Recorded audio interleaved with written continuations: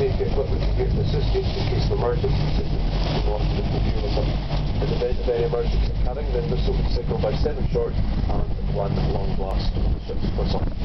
Now during the short cruise we'll need a CD, we'll get commentary, we'll you about what Loch Ness, Pacific Land the surrounding area.